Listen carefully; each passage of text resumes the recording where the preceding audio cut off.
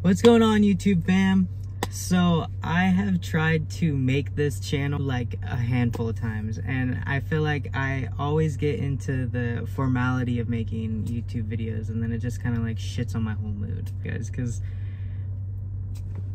being super proper and all of that jazz just isn't me and I can't not be me for you guys right so I think that I'm just gonna restart this channel and we'll see how it goes so I'll start my name is Sonny.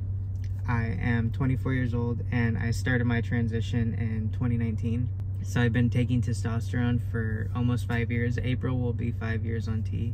When I started my transition, I looked for months to find as much information as I could about not just taking testosterone, but top surgery, bottom surgery, like the whole works of what it takes to transition in all aspects.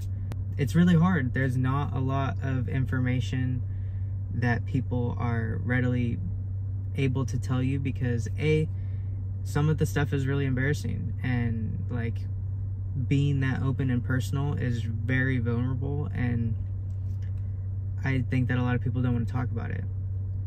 But I guess that's why I'm making this YouTube channel because I want to share those things with you guys because I think they are very important and that anybody that's looking in, into transitioning needs to be informed about.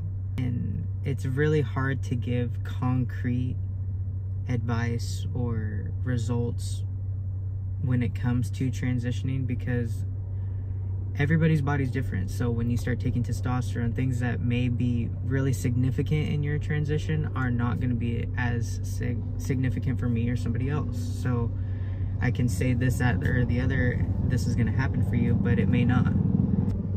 Because your journey is your own. So, giving information is really hard in that aspect. I guess that's why I want to try and, and get you guys information that you are looking for, even if it's not 100% a guarantee, at least I could give you something if there are specific things that you are interested in and want me to talk about, please leave them in the comments and I will get to as many as possible. Um, so I am going to go to the gym. I don't know. I love you guys. I hope that you have a great day and I'll talk to you later.